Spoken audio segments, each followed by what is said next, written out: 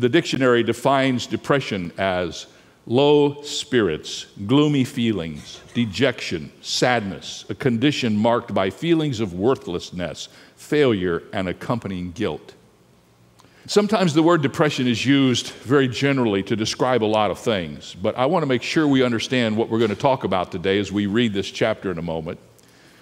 Depression is more than just a case of the blues. Perhaps the best way to help us understand that is a phrase that I read this week. It says, Depression is embodied emotional suffering. Embodied emotional suffering. In other words, it's not just a state of mind or a negative view of life, but something that affects our physical being as well. Signs of a severe episode of depression include unfounded negative evaluations of friends and family and oneself, emotional pain, physical problems like lethargy, difficulty getting your thoughts together, virtually no interest in your surroundings. It is not just having a bad day. We've all had bad days. You probably had a couple this week. But depression is far more than that. Depression takes over your body and begins to express itself in some of the things I have just discussed.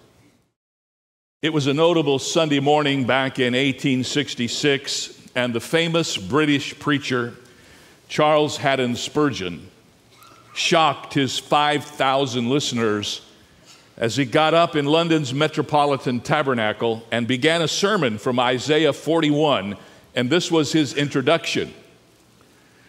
He said, I have to speak today to myself, and while I shall be endeavoring to encourage those who are distressed and downhearted. I shall be preaching, I trust to myself, for I need something which shall cheer my heart. Why I cannot tell, wherefore I do not know, but I have a thorn in the flesh, a messenger of Satan to buffet me. My soul is cast down within me. I feel as if I had rather die than live. All that God has done by me seems to be forgotten, and my spirit flags, and my courage breaks down, and I need your prayers. Now, you just stop and think about what you would be thinking right now if I had introduced that sermon and that was me. For some of his audience, it was an incomprehensible thought that this world's greatest preacher, Charles Haddon Spurgeon, would confess to such despair. But John Henry Jowett, who was the renowned pastor of the Fifth Presbyterian Church in New York City and later of Westminster Chapel in London, wrote to a friend and he said, You seem to imagine that I have no ups and downs, but just a level and lofty stretch of spiritual attainment, unbroken joy. By no means. I am often perfectly wretched and everything appears most murky. Martin Luther, the great reformer, was subject to such fits of darkness that he would hide himself away for days, and his family would remove all dangerous implements from the house for fear that he would hurt himself. In the midst of one of these times, he wrote, For more than a week, I was as close to the gates of death and hell as one can be. I trembled in all my members. Christ was wholly lost to me. I was shaken by desperation and blasphemy of God.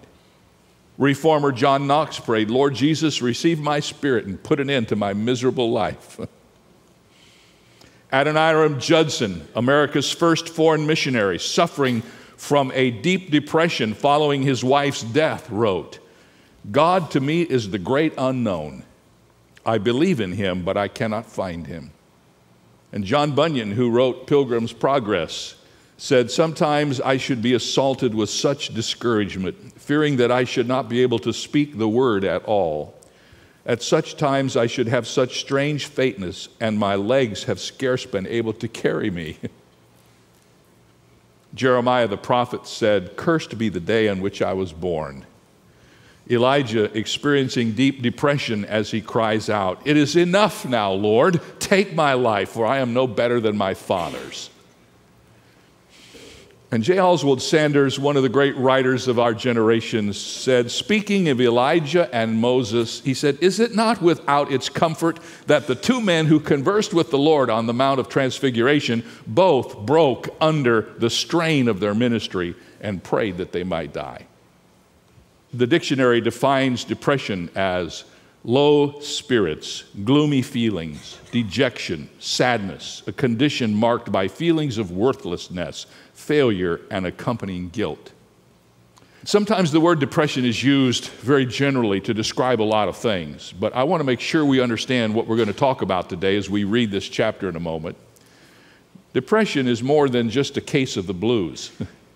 Perhaps the best way to help us understand that is a phrase that I read this week. It says, Depression is embodied emotional suffering. Embodied emotional suffering. In other words, it's not just a state of mind or a negative view of life, but something that affects our physical being as well. Signs of a severe episode of depression include unfounded negative evaluations of friends and family and oneself, emotional pain, physical problems like lethargy, difficulty getting your thoughts together, virtually no interest in your surroundings. It is not just having a bad day. We've all had bad days. You probably had a couple this week. But depression is far more than that. Depression takes over your body and begins to express itself in some of the things I have just discussed. Now, in the book of Job, we are going to see one of the most profound statements of depression you will ever read in your life.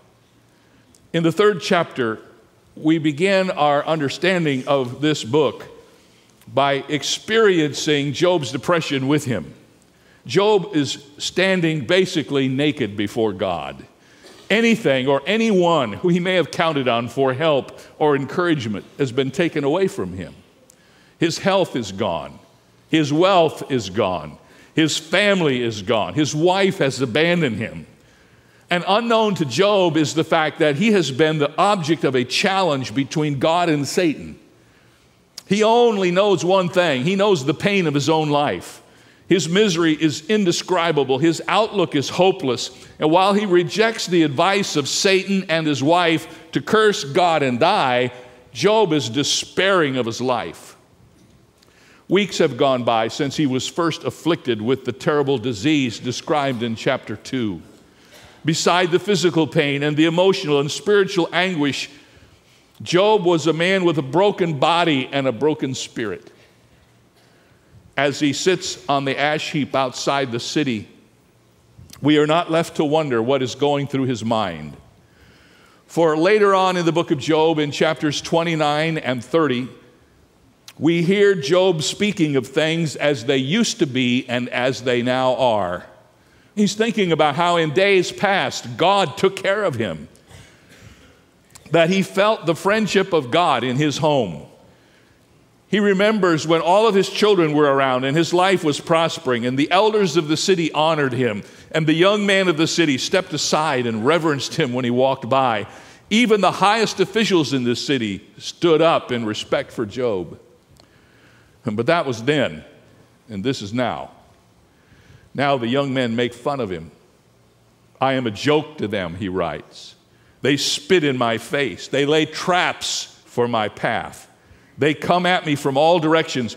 He says, I live in terror with no one to help. Depression haunts my days. I cry to God, but I get no answers. My voice of joy and gladness is turned into mourning. This is what's playing on the track of Job's mind as he sits outside the city. And there's still been no indication that God intends to explain to Job what he's doing. To Job, this experience is totally void of meaning. One writer says, Few things are harder to bear than meaningless suffering. If we could see some reason for what we have to go through, we could more easily endure it. But pointless trouble is corrosive to our souls. Now, there are many who have wondered how such a sweeping change could come over Job from chapter 2 to chapter 3 from radical saintliness in chapter 2 to unseemly despair in chapter 3. But by this stage, it should be clear that an entirely new trial has now overtaken Job the trial of depression. of deep mental spiritual trauma. The terrible disasters of the first chapter, Job managed to weather, and he even maintained his piety in the process. But now the battlefront has shifted from the outside to the inside. Now it is Job's inner psychic life, his very soul, that is under direct satanic attack. In the words of Proverbs 18 14, a man's spirit sustains him in sickness, but a crushed spirit who can bear? And so Job begins to lament in the third chapter, sitting there on the ash heap outside of the city. For the first time, he really begins to talk. And it's evident that something's really happened in Job. He's, he's become full of depression and despair. The chapter is made up of three laments, three cries on the part of Job. And the first one uh, I've called this Lord, why did I arrive? Why did I arrive? In verses 1 through 10, we read these words After this, Job opened his mouth and cursed the day of his birth. And Job spoke and said, May the day perish on which I was born, and the night in which it was said, A male child is conceived. May that day be darkness. May God above not seek it, nor the light shine upon it. May darkness and the shadow of death claim it. May a cloud settle on it. May the blackness of the day terrify it. As for the night, may darkness seize it. May it not rejoice among the days of the year. May it not come into the number of the months. Oh, may that night be barren. May no joyful shout come into it. May those curse it who curse the day, those who are ready to arouse Leviathan. May the stars of its morning be dark. May it look for light but have none, and not see the dawning of the day, because it did not shut up the doors of my mother's womb, nor hide sorrow from my eyes. Job is saying, Why did I even arrive? Why was I even born? And he begs that the night of his conception and the day of his birth be blotted off of the calendar. These words are the words of a man who is so broken that he no longer cares what he says. He has come to believe that the only solution to his set of woes is for him never to have been born in the first place. He has lost his perspective of God at this point. He's overreacted. He's made exaggerated statements. He's jumped to wrong conclusions. He's losing sound judgment. And that's the way depression works, isn't it? Depression affects a person's view of life. It gives a twisted perception of reality, a distorted view of God. When believers become discouraged, especially over an extended period of time, they can lose a right perspective on life and draw wrong and exaggerated conclusions. Such dark nights of the soul can cause us to see life in a way that does not square with reality. And Job understands that. Turn over to chapter 6 and notice in chapter 6, verses 2 and 3. Job realizes that he has spoken in a way that he should not have spoken. He said, Oh, that my grief were fully weighed and my calamity laid with it on the scales, for then it would be heavier than the sand of the sea. Therefore, my words have been rash. Job acknowledges that in his crying out in the midst of his anguish, he has spoken rashly. He has spoken words he probably shouldn't have spoken. He continues his lament with this thought Lord, if I had to be born, why couldn't have I just died at birth? So the second question is not why did I arrive, but why did I survive? And in verses 11 and 12, Job expresses the fact that he wished that he had died in childbirth. He says, Why did I not die at birth? Why did I not perish when I came out of the womb? Or why did the knees receive me? Or why the breasts that I should nurse? In his present state of depression, Job can find no reason for his life. He cannot understand why God would have allowed him to even survive his birth if all these tragedies were going to happen to him. Job's reference to knees here is an interesting thing because it's a reference to a Hebrew custom in which a newborn child would be placed upon the father's knee as a mark that the father received the child as his own. Job wondered why his mother sustained his life at birth and did not just abandon him if he was going to have a life that ended up like this. That's the way people talk and the way they think when they are depressed. Not only does he help us here to understand his desire for death, but he describes death as he understands it. And, and I need to tell you, in verses 13 through 19, Job has a very uninformed concept of death.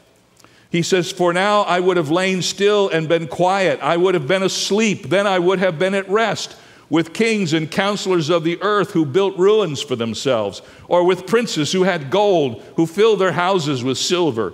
Or why was I not hidden like a stillborn child, like infants who never saw light? There the wicked cease from troubling, and there the weary are at rest. There the prisoners rest together. They do not hear the voice of the oppressor. The small and great are there, and the servant is free from his master. Please understand, men and women, that the Bible is a progressive revelation. Many seed concepts grow and develop in the Old Testament and do not really bear fruit until you come to the New Testament. As far as we can discover, at no time did the Hebrews ever think about death as total extinction. But Job here is expressing death as a hopeful relief for what he's experiencing in life. He sees death as a time and place of rest and relief from everything he's been suffering. He believes it to be the great equalizer. He speaks of kings and counselors of the earth with whom he would be in association Job was once rich, remember? Now he's poor. And he sort of feels like maybe if I die, I can recover my status among the kings and the counselors. And he even says that the wicked here cease from turmoil in death. And that shows the total depth of his depression, for in essence, he would rather be with the wicked in death than to be alive in the misery that he was experiencing. Now, we should not be too critical of Job for he did not know what we know. Therefore, what he is saying is wrong. Absolutely wrong. Somebody said, I thought there wasn't anything wrong in the Bible. Well, listen to me. The Bible accurately speaks of the things people say that are wrong. Inspiration isn't just that everything in the Bible is absolutely true. The Bible is absolutely, absolutely true about everything that's in the Bible. and so the Bible is speaking here honestly about what Job was experiencing. And Job only understood death through his very, very limited knowledge of what death was all about. And he's wrong about death, as we now know, because we have the New Testament that helps us shine light on the Old Testament. He's wrong, and so are all those today who think that death is annihilation. Some people teach that death is nothing but a deep, dreamless sleep that puts an end to all earthly troubles and trials. That is the tragedy of the thousands every day in this country who deliberately seek death as an escape from the burdens of life. The Bible teaches consistently that death is no dreamless sleep or state of non existence, but it brings us into the presence of the eternal God to whom we must give an account. The Bible says it is appointed unto men once to die, and after that, the judgment. People ask me, everywhere I go, if we ever have a question and answer time, Pastor, let me ask you this. If somebody commits suicide, does that mean they were going to go to hell and they can't go to heaven? Of course not. If a person is a Christian and they take their own life, that doesn't cancel out their Christianity any more than any other sin would do it. But I like to remind people that it's not a good thing to do. There's always hope, and that's never the answer. And you need to understand the first person you're going to see after you do that is the God of heaven who created you and gave you life in the first place. Maybe some of you are here today, maybe your life is so unraveled and so messed up, you, have even thought this week about taking your life. Don't you dare. God loves you, He sent His Son to provide salvation for you, and there is hope for you. The enemy would like to have you curse God and die. That's what he tried to get Job to do. But don't you, don't you take his word. Whatever that negative stuff in that's going on in your heart is not from God. It's from the enemy.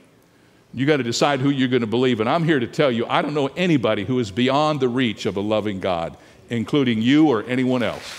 He is able to do what he will do. Now, by the end of the book, Job has already gotten some more information about uh, life after death. In fact, I'm going to jump ahead. I know you should never do that when you're telling a story. Job comes back around, and, and if you'll just let me read these verses from the 19th of Job. He says this later on. He says, After my skin is destroyed, this I know, that in my flesh I shall see God, whom I shall see for myself, and my eyes shall behold, and not another. Oh, how my heart yearns within me. What's happened?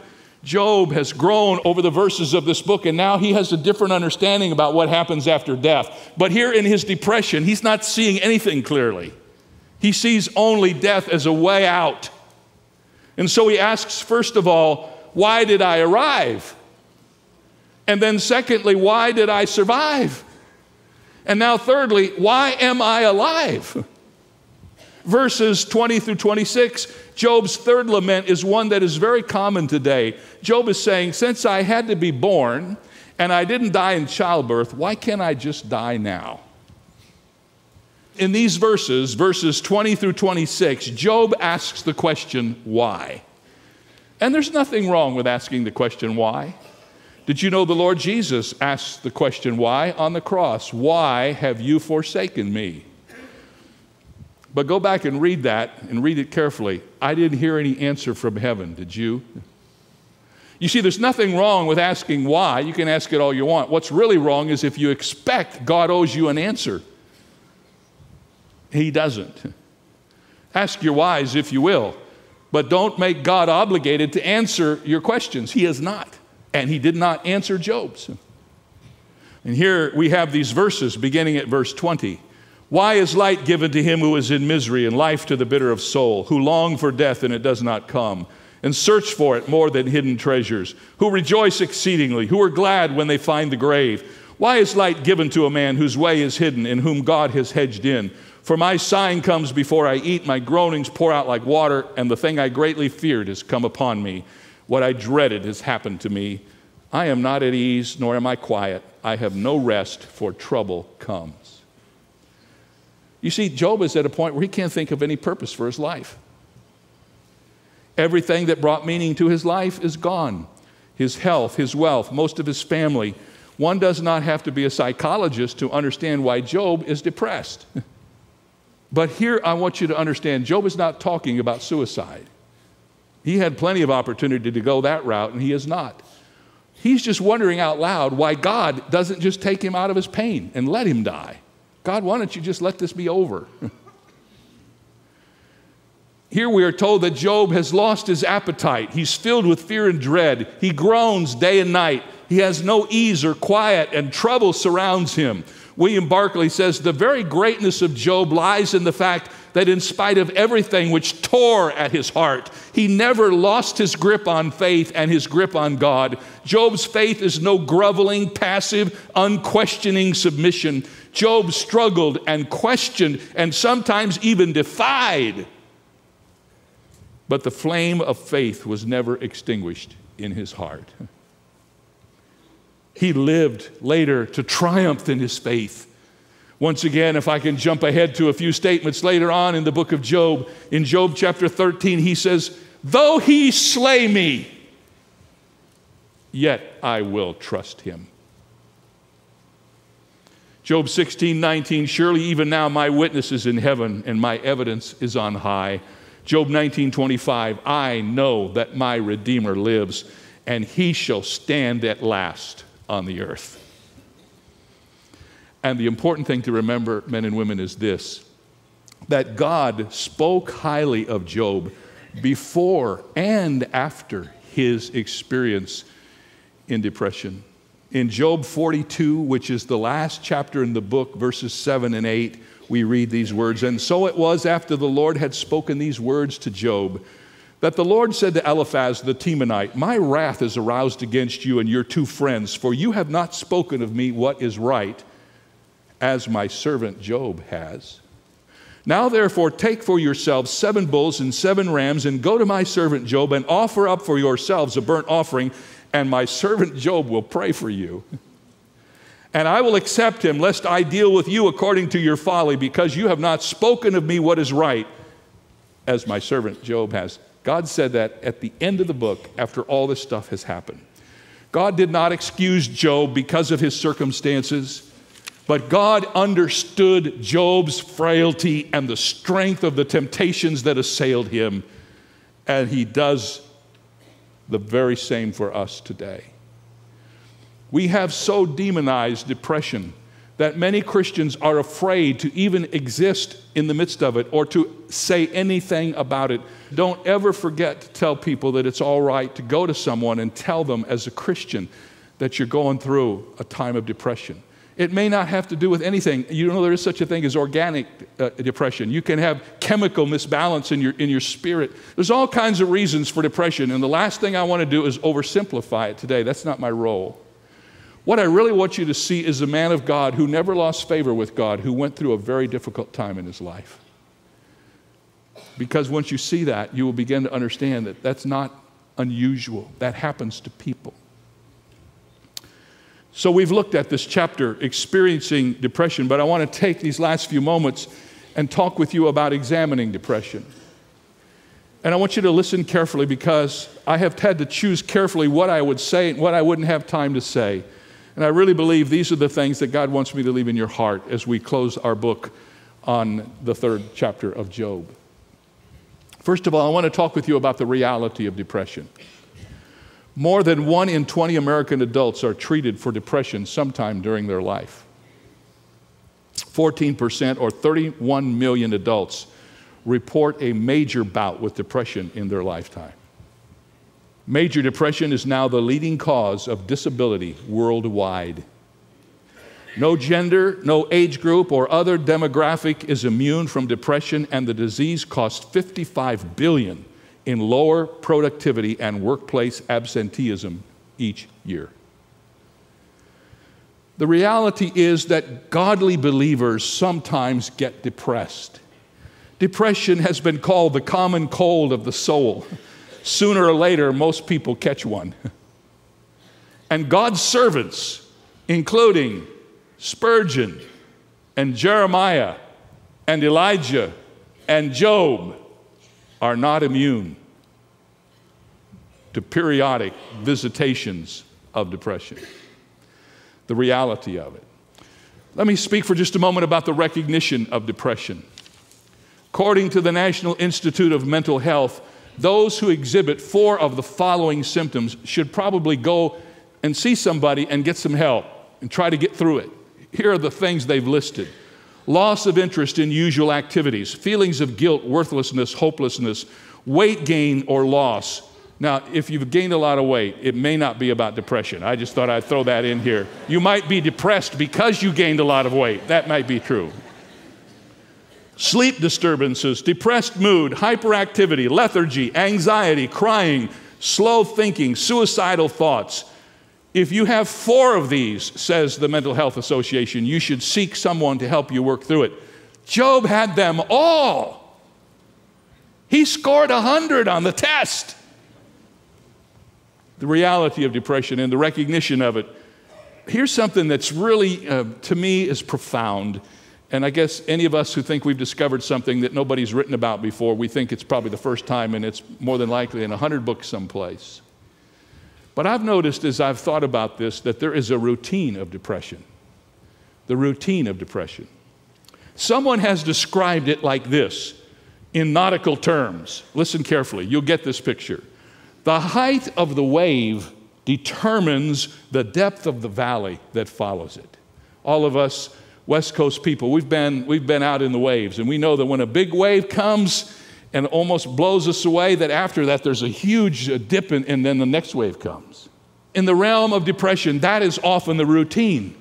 In the scripture, you see this. For instance, Elijah was used by God to confront the prophets of Baal. If you look at 1 Kings 18 and 19, you will discover a thrilling event in which God performed a mighty miracle in answer to Elijah's prayer, God sent fire down from heaven and burned up the sacrifice that had been loaded up with, with water.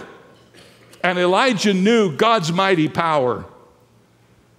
And within just a matter of hours, he was running for his life from Queen Jezebel.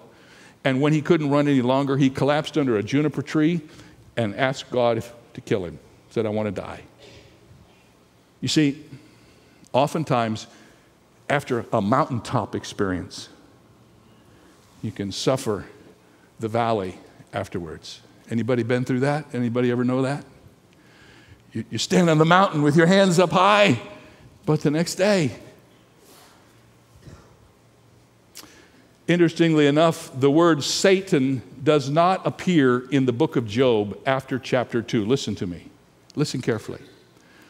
The word Satan appears in Job 2 7, and it doesn't appear again in the book. It seems as if Satan's testing of Job was finished with the completion of the second chapter. Job stood strong against the tests of Satan when he was under fire and his family was taken and his health was taken and his wealth was taken. He hung in there during that time. But when the contest was concluded, he fell into deep despair. All of the anguish turned inward on him. And you know, it's not recorded of Jesus that he was ever depressed, but he was tempted by the devil. Do you remember that? And do you know when it happened? Immediately after his baptism. Sometimes, if we suffer from bouts of depression, we do well to observe its routine in our lives. And then the response to depression. And I need to just say, I feel like I'm apologizing here because, folks, I am not a psychologist. I'm not a psychiatrist. I'm just a student of the Word of God. I'm trying to tell you only what I observe in the scripture. You got to go beyond that yourself, but here's what I want you to know. The response to depression is not something I can cover adequately because there's all different ways to respond to it. But I do have one observation from this story, and here it is face your depression honestly. Job did not hide his feelings. It was his honesty about his feelings that ultimately brought him back to health. He refused to bury it before God and anybody that would listen. When he finally hit it, he just let it all out and expressed what was going on in his heart. Honesty is always the best policy on one uncharacteristically awful afternoon during the 1950s, Yankee slugger superstar Mickey Mantle struck out three times, and he was badly depressed about it. He was sitting in the clubhouse. He remembered, he said, I sat down on my stool and held my head in my hands like I thought I was going to start crying. And I heard someone come up to me, and it was little Tommy Berra, Yogi Berra's boy, standing there next to me, and he tapped me on the knee, nice and soft. And I figured he's going to say something nice like, hey, you hang in there, or something like that. But all he did was look at me, and then in his little kid's voice, he said, You stink.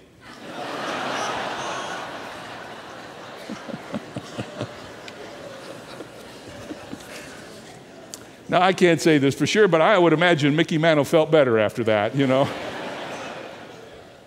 Most of us find it a lot easier to be honest with somebody else than we are with ourselves. Often in the Psalms, we read of David crying out to the Lord. And this is what Job did too. Job 7:11 says this, "Therefore I will not restrain my mouth. I will speak in the anguish of my spirit. I will complain in the bitterness of my soul." The fact that there is a point at which any man simply throws in the towel is illustrated in the life of Job. He does not abandon his faith. He just gets thoroughly sick and tired of trying to put a good face on things. And this is not sin, it's just honesty. Job is a forthright, plain spoken man, the sort of person who's not afraid to say what's on his heart. And we need grudgingly to acknowledge that such uncommon honesty may be one of the greatest virtues that a saint can possess. He's not putting a spin on his walk with God. He's in a dark place and he acknowledges it. The reality of depression and the recognition of it, the routine of it, and the response to it, and finally the result of it. Once again, as our friend Paul Harvey said, here's the rest of the story. Even before his testing was over, Job expressed confidence in the end result. In chapter 23 and verse 10, he says, But he knows the way that I take, and when he has tested me, I will come forth as gold. Wow. And after it was over, he expressed gratitude for what had happened in his life. In Job 42 5, he said, I have heard of you, God, by the hearing of the ear, but now my eye sees you. Therefore, I abhor myself and repent in dust and ashes. He said, Lord God, I used to know about you, but when you took me through this test, man, I, I know you now. How many know that when you go through test, testing and God walks through with you, you come out of it with a greater sense of intimacy with Almighty God than you've ever had in your life? That's what Job is experiencing. In his book, The Gospel According to Job, Mike Mason summarizes the impact of a chapter like Job chapter 3. I've had many people say they've never heard a message on Job 3. I understand why. But listen to his analysis of why we should never avoid even a passage like this. He said, For the person who struggles and agonizes, the very blackness in the Bible is gold. Just the presence in Scripture of a book so dark and chaotic and thoroughly eccentric as Job should come as an immense comfort to any suffering believer. For the book says, in effect, this is what faith is often like. Do not be surprised if you find yourself confused and doubting and afflicted and all but crushed. It does not mean you have lost favor with God. End of quote. Charles Spurgeon left behind a couple of little books called Lectures to My Students, and I have those books. My father gave them to me. These are the things he would say to his preacher boys when he'd get them together and hold classes and he would teach them. And in one of his lectures to his students, here's what he said. He said, Before any great achievement, some measure of depression is very usual. Such was my experience when I first became the pastor in London. My success appalled me, and the thought of the career which it seemed to open up, so far from elating me, cast me into the lowest depths. Who was I that I should continue to lead so great a multitude? I would take me to my village obscurity, immigrate to America, find a solitary nest in the backwoods where I might be sufficient for the things which would be demanded of me. And then he said, This depression comes over me whenever the Lord is preparing a larger blessing for my ministry. The cloud is always black before it breaks and overshadows before it yields its deluge of mercy. Depression has now become to me as a prophet in rough clothing. Later on in the book, he says depression has become his John the Baptist announcing something good that is about to happen. You see, the routine of depression is not only the valley after the mountaintop, it's the valley often before the mountaintop. We were not made as human beings to sustain holy highs throughout every minute of our life. We cannot do that. And God allows the dark moments so that we can appreciate the moments of glory and light that come before and after. And if you're going through a time of depression, may be triggered by some of the things that have been happening in our culture, let me assure you, you have not lost favor with God. He has not forgotten you, nor could He ever. His love for you is so great and so immense that there is no precedent for it. It is unprecedented. There's nothing to which we can compare it. And if God would love you so much that He would not even spare His only begotten Son, but would send Him into this world so that you might be redeemed, do you think He is going to forsake you in the midst of a difficult moment? He has promised, I will never leave you nor forsake you. And I have no evidence anywhere that God has ever outpromised himself or gone back on his word. If you feel unloved by God, it's because the problems of your life have fogged up the screen through which you see reality. Find somebody who can help you and pray with you. Whatever you do, don't not talk about it. Find somebody who can help you. You can get past it, you can get beyond it. And like Job, you will stand and say, when he tested me, I came out as gold. God never wastes anything, and he will not waste these moments on your life.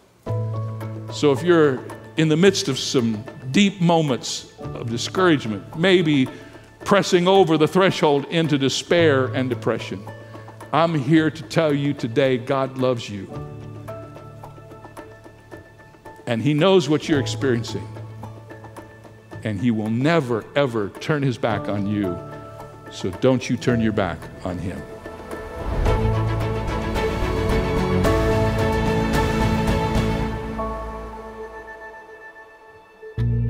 Thank you for joining us today on Turning Point. If you have never taken the step to believe in Jesus Christ as your Lord and Savior, you can do that today. If you will allow us, Dr. Jeremiah would like to send you two resources that will help you. The first is a booklet called Your Greatest Turning Point, which will help you as you begin your relationship with Christ. And the second is our monthly devotional magazine, Turning Points, to give you encouragement and inspiration throughout the year. These resources are yours completely free when you contact Turning Point today. Next time on Turning Point.